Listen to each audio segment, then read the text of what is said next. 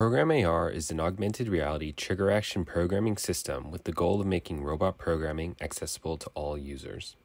Our system utilizes virtual zones that define areas of importance within a workspace, for example, objects to pick and locations to place. These zones may be moved around and resized directly within the context of a user's real workspace. PRogramAR uses trigger action programming to create rules that perform an action when a specified trigger occurs. Rules include if a trigger occurs, then perform an action, or while a trigger is true, continue performing an action. These rules can be made up of multiple triggers and actions defined by the user. For example, if box 1 is in zone 1,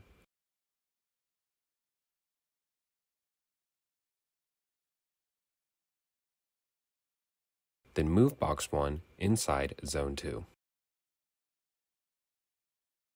To verify the behavior of a program, the robot's digital twin can simulate its behavior before execution.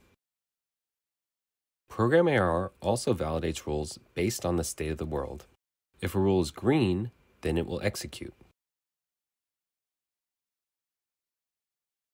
If a rule is red, it will not execute. Finally, when running the rules on the real robot, users can work simultaneously with the robot on collaborative tasks. In this video, I'll show you how to get PRogramAR working in Unity and connecting to ROS over WSL2. So if you go to this repo, Pro PRogramAR, you can scroll down to this command. So you want to clone this repository, this Unity repository. So I'll paste it in and you can hit enter and it'll clone. Then you'll want to go to Unity Hub and add project and go to wherever you cloned it and open it. So I'm using Unity 2020.3.38 F1. And once you open it, it'll take a little bit to bring in all of the different assets but you'll run into a few errors and warnings, but it'll still work. So you can just clear those out. And next you'll want to go to this folder, PRogramAR, and then you'll want to go to scenes and then open up the demo scene. So now if you hold the right click and you move down WASD, you can go down to the scene here. And this is just how the scene looks for the study that I conducted a while ago that utilized this system. And you can read about that in the paper that I've written. But this is what you'll also see in ROS. So now that we have this up and running, we can go to our ROS, our ROS workspace. And what you'll need to do is go to the repo here and it's on the PRogramAR branch. And you can run this directly on Ubuntu, whether that's on a Ubuntu desktop or on WSL2, and you can follow these steps. However, what I'm doing is I'm using Docker, and in this repository here, you can see this ROS Docker setup that I have, and you can just follow these steps to get it running. But basically what you want to do, if you run the Docker implementation, you get this git clone, and you want to change into the source directory, paste that command and clone it.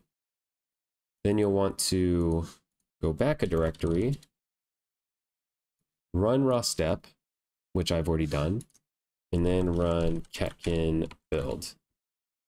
Once that's done building, you can source the directory, so source devel setup.zsh.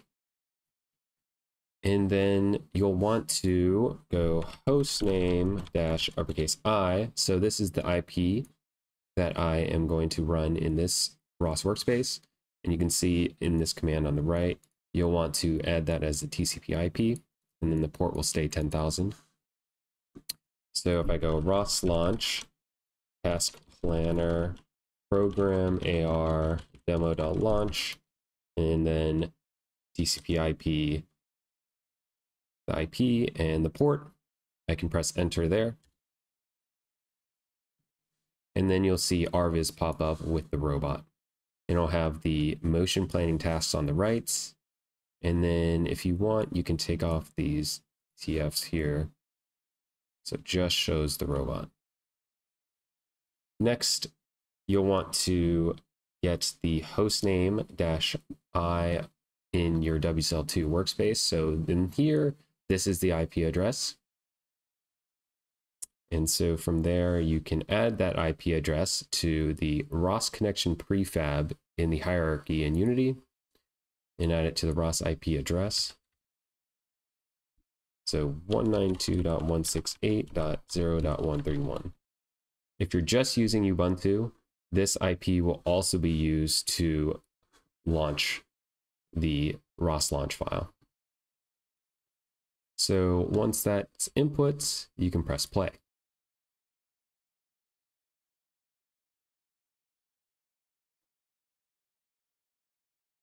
And now you'll see the scene pop up in here in RViz. And then you also see it here. So looks like I have some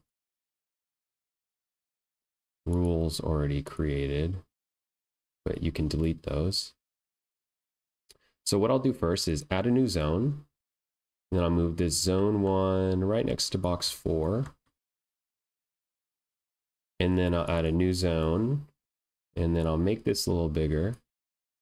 And I'll move this over box one. Next, I'll create a rule. So we have options of if then rules, which is if this trigger is true, then perform a single action, or a while do rule, which is while a trigger is true, keep performing the same action. So I'm just going to do an if then rule and you can hold down the right click button and move around WASD to simulate a HoloLens. So first I'll create a trigger. So if any box is in zone two, save, then create an action, then move all boxes in zone two inside zone one. Then I'll save that. And if you click on simulate action, you can simulate it before it occurs and you'll see it, this digital twin moving around in the in Unity. Or you can just press save. And then you can see here that the rule on the left and the right is both green because there is a box in zone two and it can be moved to zone one. So I'll play the program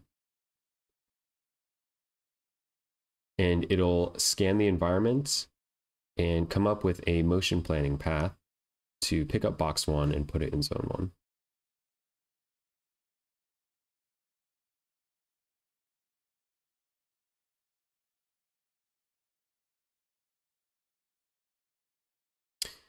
And as you can see on the right, this robot is moving a little faster than the robot in RViz. And that's because RViz is simulating the actual speed of the physical robot and what it'll look like more closely in real world.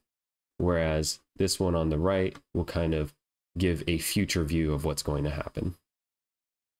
And that's how you get the program up and running.